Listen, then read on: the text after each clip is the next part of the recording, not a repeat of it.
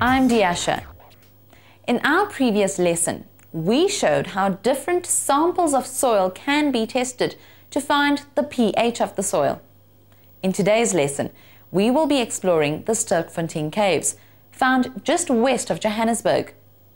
This is a site that has attracted a lot of interest because of the discovery of fossils and skeletal remains that date back millions of years.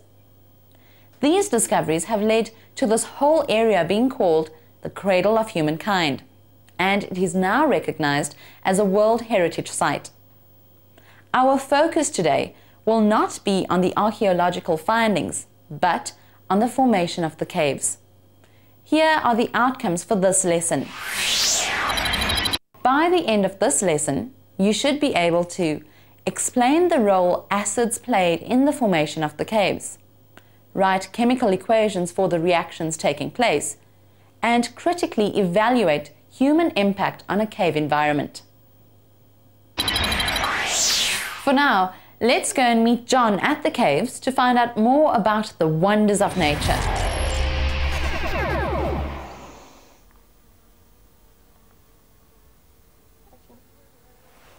Oh, hi, Diasha. Can you believe that this whole area was once covered in water? The rocks that we find here were actually formed deep underneath the water and settled in layers. One of these layers is the layer called dolomite. After some time, the water retreated and the land changed.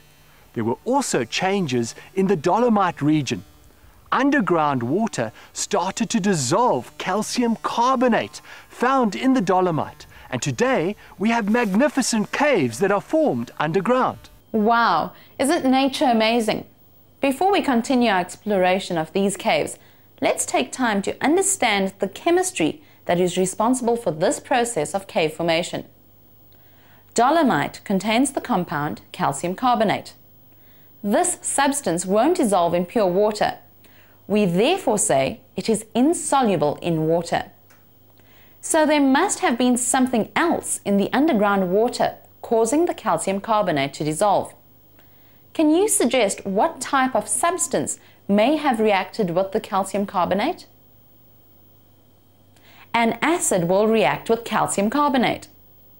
Watch what happens when hydrochloric acid is added to a sample of calcium carbonate.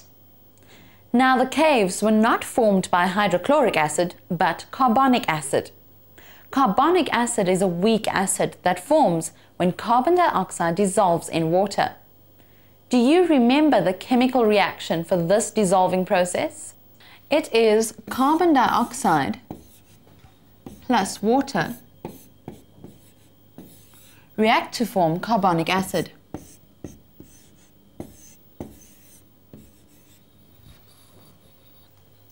Let's take a look at the following animation to see how this happens in nature. Carbon dioxide is found in the atmosphere. We also know that all living organisms release carbon dioxide during respiration. Carbon dioxide dissolves fairly easily in water, so when rain droplets fall through the air, they absorb some carbon dioxide. The rain filters through the soil and more carbon dioxide is absorbed. This acidic solution of carbonic acid filters through cracks and joints of the rock until it reaches the dolomite layer. Here, underground caves form with no large openings to the surface. Before we go back to the caves, let's summarize the main ideas so far. Carbon dioxide dissolves in water to form carbonic acid, and carbonic acid reacts with calcium carbonate in the dolomite. This causes caves to form. But what product will form in this reaction? Let's have a look at the equation. Calcium carbonate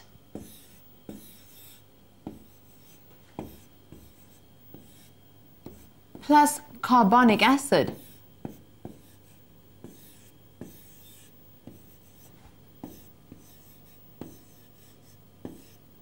react to form calcium hydrogen carbonate.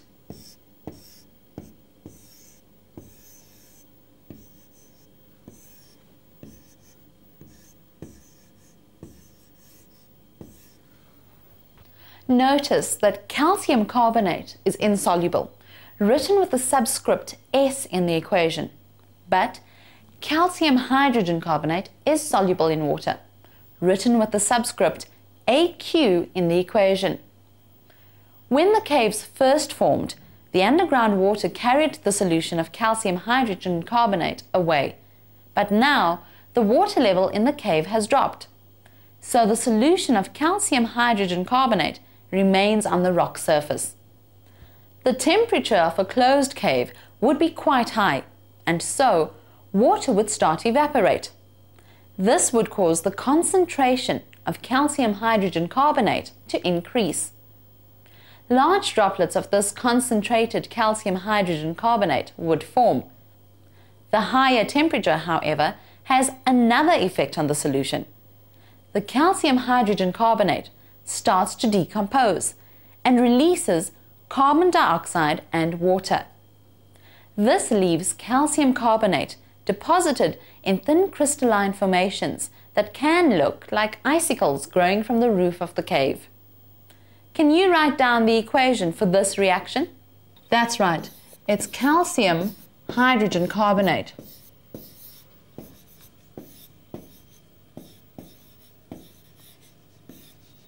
Which breaks down into calcium carbonate plus carbon dioxide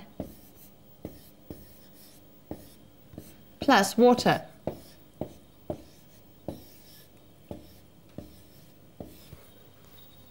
This process of depositing minerals in formations like these marks another phase in the formation of a cave. These cave formations have many different shapes.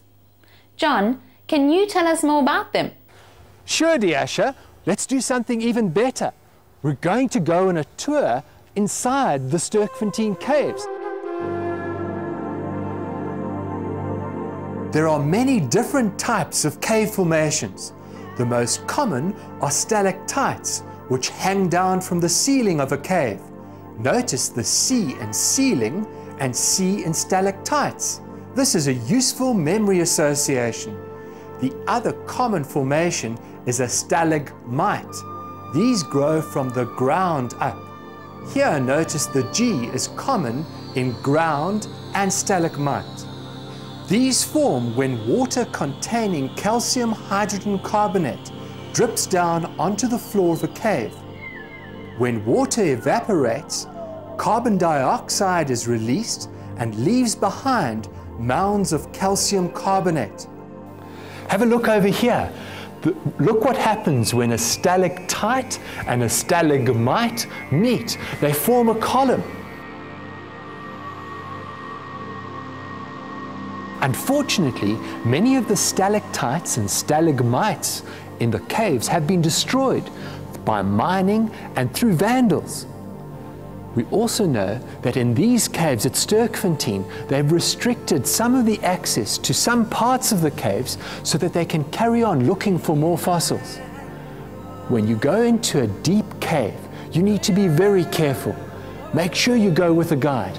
Some people have gone into caves like this one and not come out because the carbon dioxide levels in the caves is terribly high and they find they can't breathe. Some people have even died.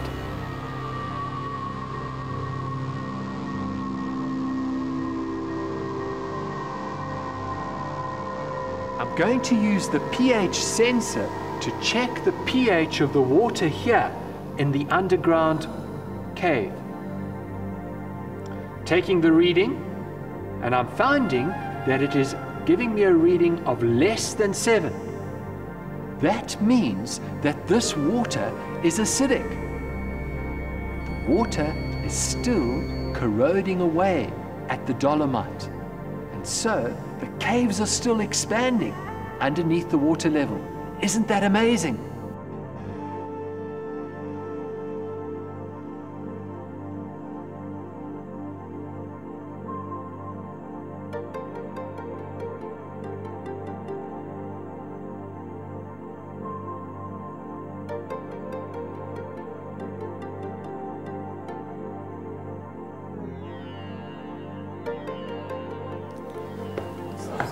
More steps.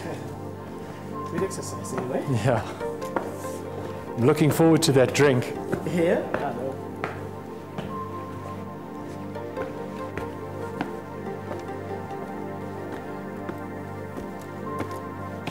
We just have to keep going.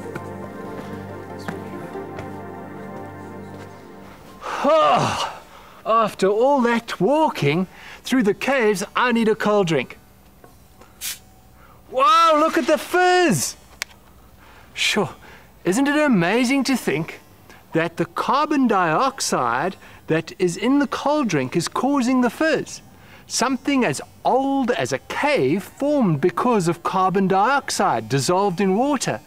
And we can enjoy cool drink today because of carbonic acid too. I'm going to enjoy it. Cheers.